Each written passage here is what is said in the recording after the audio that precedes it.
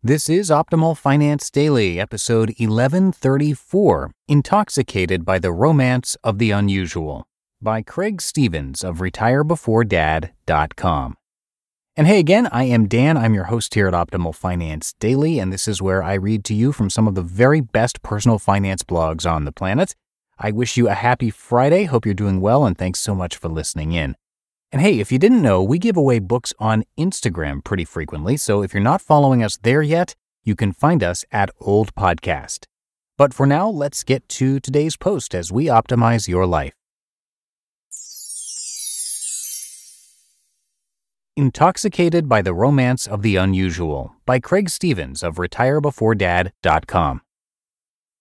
Quote, Live the full life of the mind, exhilarated by new ideas, intoxicated by the romance of the unusual.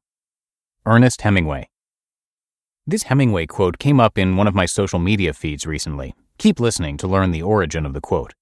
Now, most of the time I roll my eyes at the quotes so often shared by this old acquaintance, but this time it was Hemingway and it sounded cool. So I wrote it down in my moleskin, the same notebook Hemingway supposedly used, popular with his kind. This quote resonated with me for three reasons. 1. Hemingway wrote The Sun Also Rises, one of the two or three books that inspired me to travel in my 20s. 2. He's one of the greatest American writers ever. I should pay closer attention to good writers and less to internet memes now that I write so much. And 3. Unusual is open to interpretation. Learning new things, personal discovery, oddities, Knowing Hemingway's love of travel, I associate his words with visiting unfamiliar places and meeting new people, something he did throughout his life. A big chunk of my work life today is the usual. Nothing extraordinary, usually, just another day at the office, over and over again. Life in the suburbs can feel that way too. Not to undermine how lucky and fortunate I consider myself, However, living the ordinary life of a 9 to 5 worker with a family in the suburbs can sometimes make me feel boring compared to my previous lifestyle, which you can read about in my post titled 14 Months, 18 Countries, $10,000 How to Quit Your Job and Travel the World. Everyone behaves badly given the chance. Stable employment is comfortable. The longer you're in that comfort zone, the less inclined you are to pursue creative opportunities. I've been with the same employer for 14 years, the company enabled me to go from being broke and living with my parents to wealthy. Not ridiculous wealth, but relative wealth compared to most humans on Earth. At the same time, the job may have held back my career potential. The work is steady and the pay is good, but opportunities for career advancement are rare. Had I left my employer at certain points in the past, perhaps I'd have identified better opportunities, but I chose comfort instead, safety, a decade ago, I almost left my IT career to become a financial advisor. After a $22,000 raise, I decided it was wiser to stay in IT. I took that raise and bought a condo that both haunts me and showers me with cash flow. Instead of taking a career risk that might have been more fulfilling, I chose the path of least resistance to financial independence. A comfortable full time job can be like a death spiral. Comfort leads to less ambition. Less ambition leads to less earning potential. Less earning potential leads to less money. Less money means you'll have to work longer. Working longer means less freedom, and less freedom equals less happiness. That's one way to look at it. Another way is to embrace the full time job as a stable foundation from which you can build something more significant and meaningful.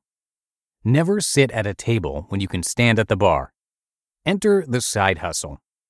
After our first child was born, Mrs. RBD continued to work part time. In exchange, she received a modest but predictable salary. That income lasted about a year until her employer decided they couldn't justify keeping her on board. Having that second income was comforting. When it was gone, I began to feel the weight of responsibility as a freshly minted sole breadwinner. Our house payment became overbearing. Our savings rate suffered. It got real. Losing the second income and the discontent I felt about my career are what led me to explore starting an online business. Inspired by the success of a friend who started a health related blog, the idea of retire before dad came to be. Three months after my wife's income ceased, RBD was born. Starting a blog or online business is not easy. Overnight successes are rare. But if you enjoy writing, provide value to others, and follow the tricks of the trade, success is possible. At the onset of this, I had no idea WTF I was doing, But here I am today, a legit writer and online entrepreneur. I remained anonymous for almost four years, afraid that my employer would find out and view my desire to retire early as negative. What I realized over time is they don't really care about me. They may say they do and act as though they do, but employers, almost 100% of them, and nearly everyone you encounter up the ladder, is worried about themselves, as they should be. I'm a firm believer in personal responsibility. That's why I build sustainable income streams and invest for passive income instead of only hoping that my job is secure.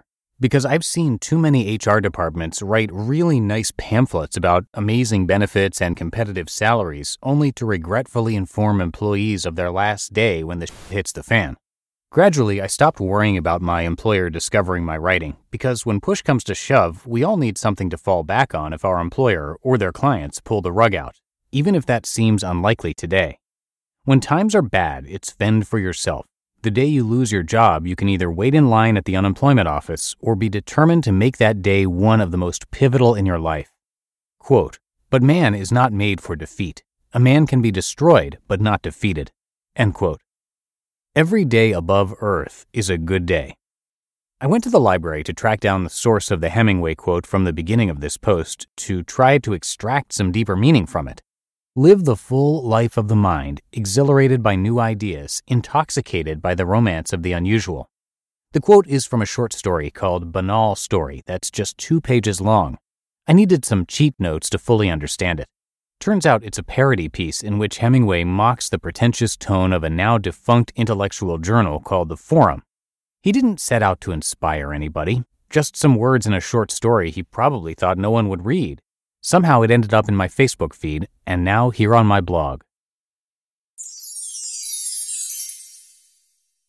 You just listened to the post titled Intoxicated by the Romance of the Unusual by Craig Stephens of retirebeforedad.com.